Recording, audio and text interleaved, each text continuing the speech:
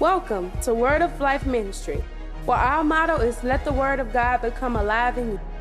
Led by a humble servant, Pastor Eugene Fondren. What do unity has to do with oil in you? The oil that ran down started where? At the highest point of Aaron's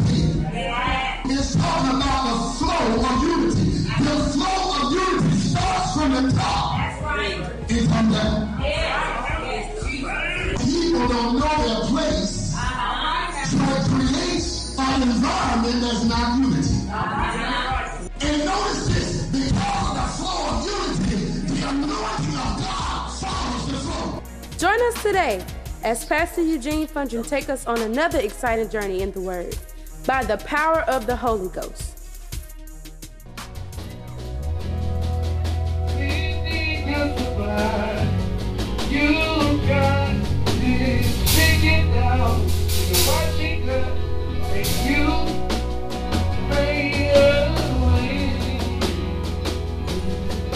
Back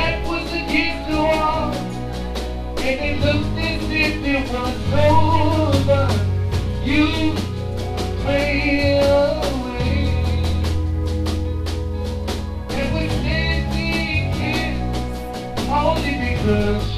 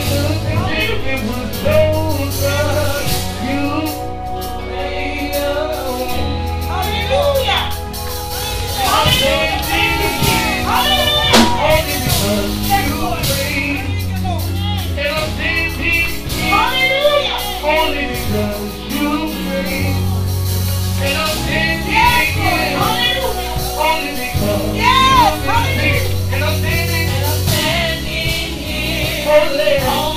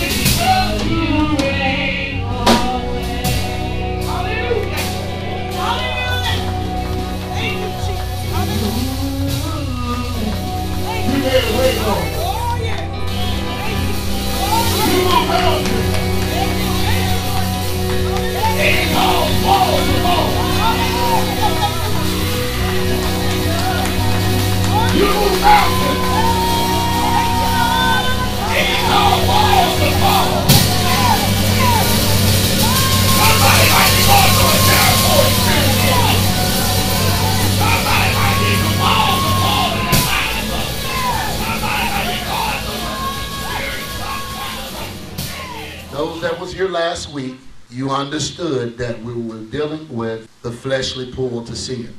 Their laws are in place, so we use two, two illustrations. These illustrations that we use, one was gravity, and the second was a magnet. And this is the tricky thing about gravity. You can have the same structure.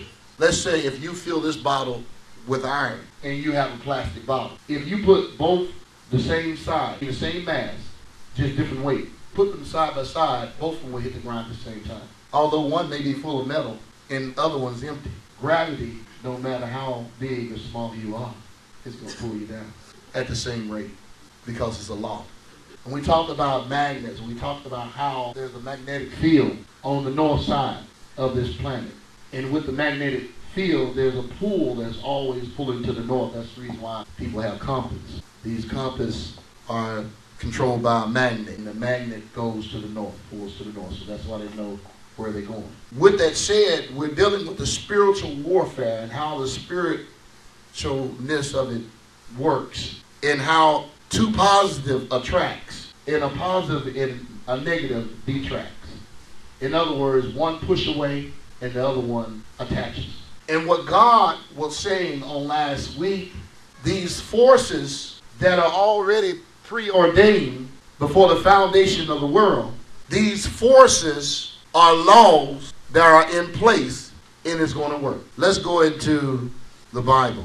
The book of Genesis 1 and 26. As a man or a woman, there are authorities that God has given you upon this earth. With this authority, there are forces that are designed to carry it out. We're talking about Adam and Eve, and we're talking about the authority that they were given. They were given authority, but the understanding of what they was given, it was partial. And since they didn't know the level of understanding concerning their authority, it was stolen from them. Understand when Adam, when Eve was deceived and she ate of that fruit, and Adam did eat also, what took place was a transfer of authority. Let's go to the book. Genesis 1 and 26. Listen and listen closely. And God said, Let us make man in our image, after our likeness, and let them have dominion over the fish of Oh, the sea. and let them have, everybody say dominion. Dominion. Dominion is to prevail or reign or to rule. What are they prevailing over? What are they ruling over? They're ruling over the fishes of the sea, uh huh, Over the fowl of the air, the fowl of the air, the birds. and over the cattle, Hold a minute. Adam and Eve had authority that was given to them about by God. See, understand this. When God made this world, He made this world for the purpose of mankind. He placed mankind on this earth and gave them power to rule over, everybody said the earth. So he was over the fishes of the sea. He was over the fowls of the air. and over the cattle, He was over the cattle. Uh huh. and over all the earth. Hold a minute. Everybody say all. The earth. Y'all know what that means? That means every element of the earth. They sung the song. You move mountains. You cause walls to fall. A mountain is an element of the earth. When you don't understand your authority and your power, it can get taken from you. Y'all listening now. Y'all listening now. That's a good thing.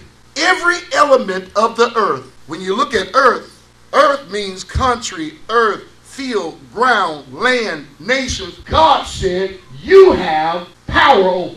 and over every creeping thing that creepeth upon the earth. So when God made this earth and he put man here on earth, man was empowered over everything that has to do with the earth. But because Adam and Eve didn't realize what they had. See, what happens is faith puts us in rightful position of this power. So then we have power to speak on the earth,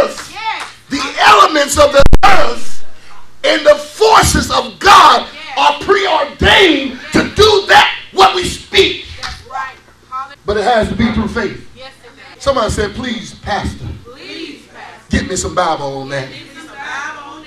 Matthew 17 and 19.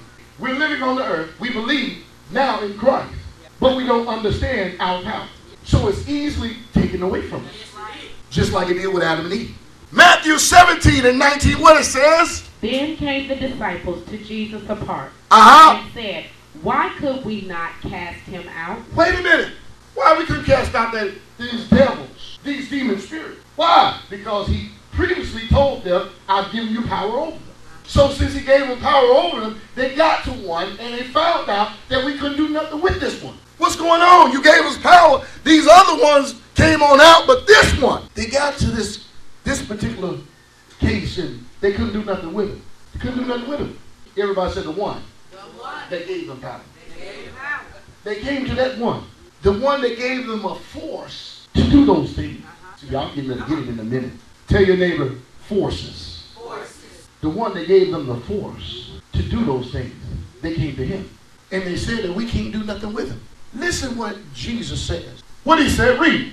Because of your unbelief. Oh, stop right there. What is Jesus saying?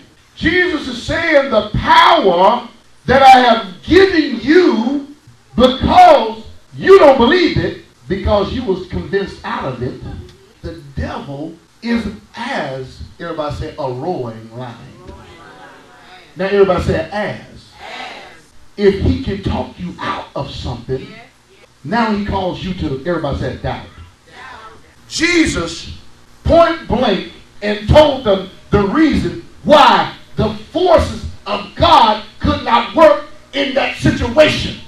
And it was one word. Everybody said unbelief. Stop the forces of God from carrying it out. For verily I say unto you, if ye have faith as Hold a a minute. grain, For verily, y'all know what verily is? Truly. What he's saying is for truly. I'm telling you, man, if you have what? faith, Everybody say it. Everybody shout it out. Faith. That's what I'm talking about. If you had faith, uh-huh, as a grain of mustard seed, uh-huh, ye shall say unto this mountain, hold a minute, you shall speak to what? The elements of the earth. So the elements of the earth, through faith, comes under the control of you through God. Listen real good now. He said that you shall say unto this mountain. And the reason why he said this mountain, because every element is different. Every element of the earth is different, but you have power to speak against it. Uh-huh. He said, You shall speak to this mountain. And so what? Read. remove hence to yonder place, and it shall remove, and nothing shall be impossible unto you. Is this the book? From the beginning of what he handed to Adam and Eve, the enemy stole it because they didn't understand it. And when he stole it from them because they didn't understand it, it took the sacrifice of the Messiah in order to give it back to you. But the problem is when he gave it back to you, you still don't understand it. So it's being taken from you again through ignorance. Let's go to Luke 17. Luke 17 and 6. And the Lord said, Uh huh. If ye have faith as a grain of mustard seed, There it goes again. ye might say unto this sycam- sycamore tree, Be thou plucked up by the root, Hold a minute. Come here. As just just go around and start passing one of these out to everybody. That's a mustard seed. Listen, he said, if you have faith the size of the mustard seed, you shall speak to the sycamore tree. The sycamore tree is another, everybody say element of the earth. Is this the book? Is Jesus just saying this? Is it just there for, for nothing?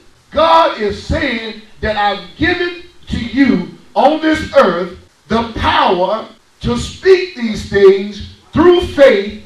And when you speak these things through faith, the forces that I've designed for you will carry it out.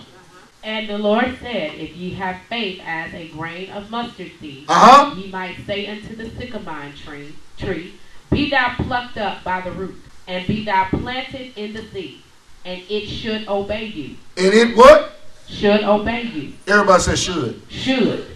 Why? Because faith transferred the power unto you. Tell your neighbor this earth was created for you. And since it was created for you through faith in Christ Jesus, now you have power and authority and you exercise that authority through speaking. There are dimensions that you can't see with your eyes. See, we look at heaven as being a far, far, far place away, but it's really not. This is a three-dimensional world. So the way it works is this way: is that this earth was designed and created for you, and God has given you power over this earth, and over the elements of this earth, and over everything that lives upon this earth. Even the water, He's had, He's given you power and dominion over. He's given you the ability to create things on this earth because this earth was created for you. And because this is a three-dimensional world and there are dimensions, there are angels that in the midst of us that we don't see with our eyes. These angels are working behind the scenes. And sometimes when presidents come or kings in their day came, then the forces of Satan was controlling them. And since the forces of Satan was controlling them, the parallel to heaven and earth, it caused God to orchestrate things so that it will come down and those angels that are in the midst of that are battling above us in their dimension. We can't see it. And sometimes when the devil sets a trap in our lives, we can't see the trap. But there are angels that sees it and they're fighting in their dimension. But God is a sovereign God. And in his sovereignty, he is control over everything. Right. The fallen angels and the good angels. He's control over it. And he's allowing this to take place until his due time. So we live on this earth, and there are angels that are fighting in their distance, in their in their dimension, on our behalf, and God is control over everything. Right. Are y'all with me, right? Because sovereignty means supreme power or authority. The authority of a state to govern itself or another. So God is governing or in control over the whole thing. But God has given man the power and authority upon this earth. Daniel 10th chapter, the 13th verse. When King Cyrus got in position, and I believe his son came along, his son, the devil began to use his son. And when the enemy began to use his son, because of the parallel with heaven and earth, it caused some fighting to go above them in their dimension.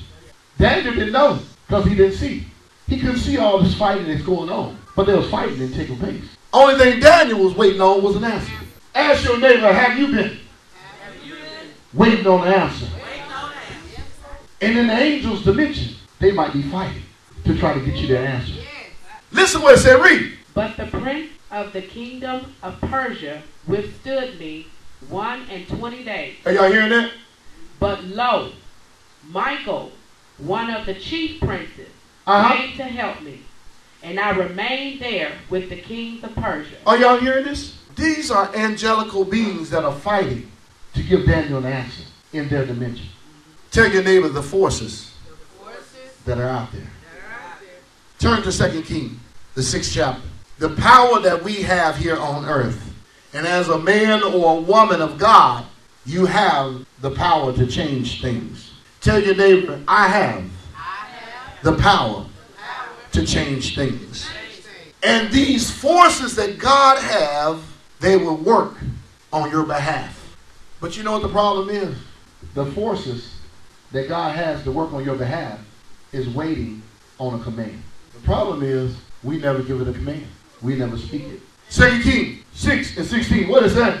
And he answered, Uh-huh. Fear not, Uh-huh. for they that be with us are more than they that be with them. Hold a minute.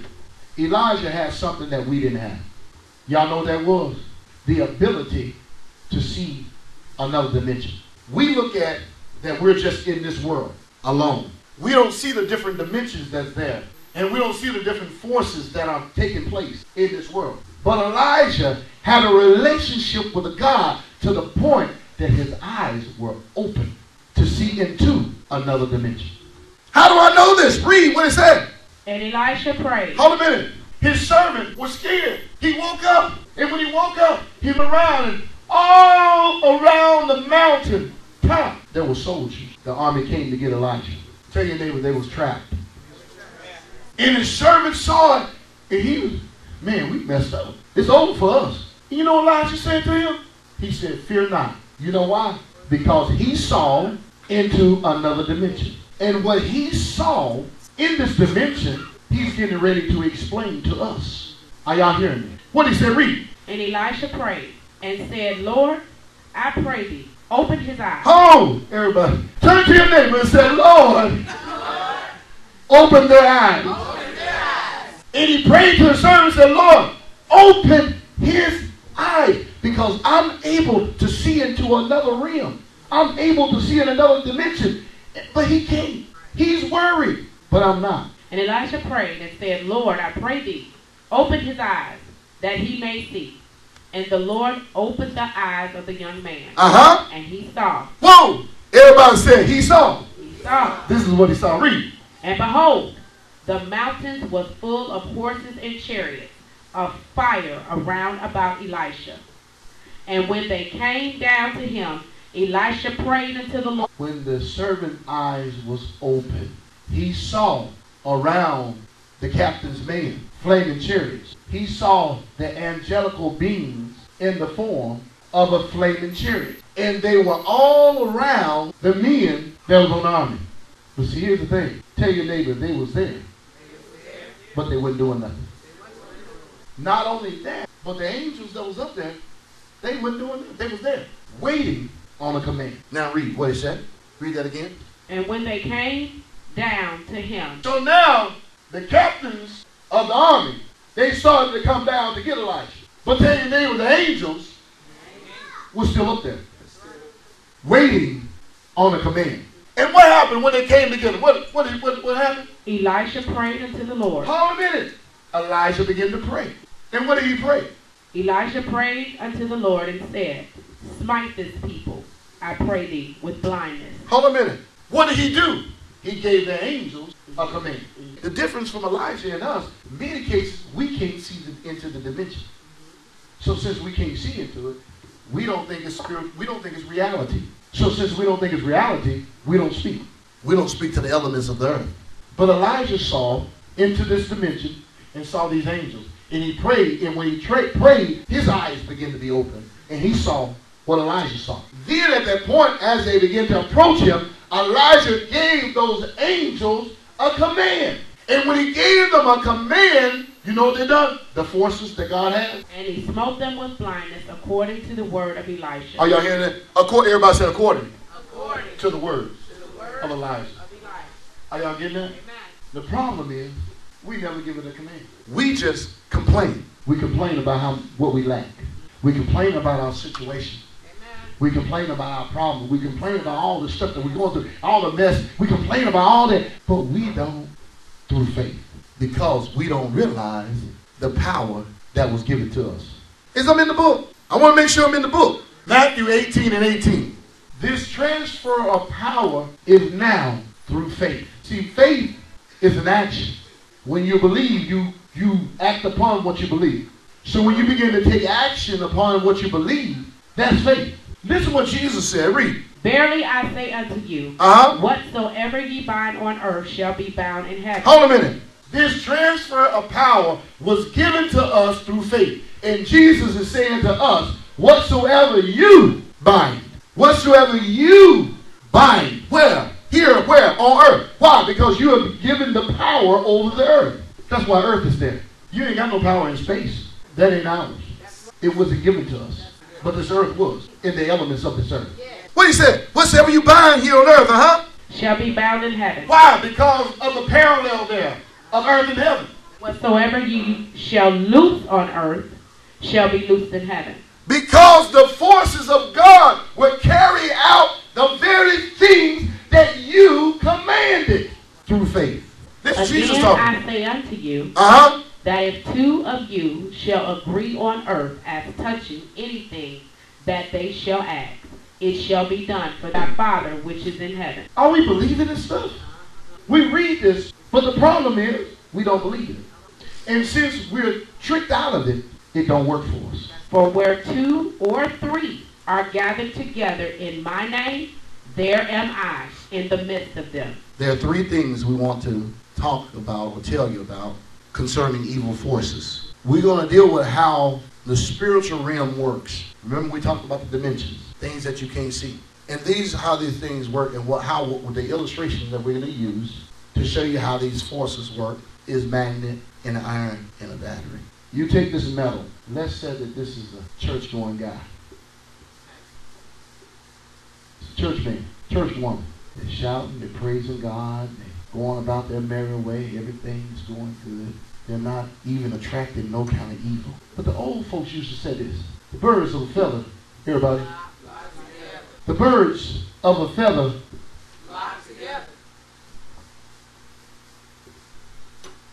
I'm going to church, everything's good, everything is wonderful.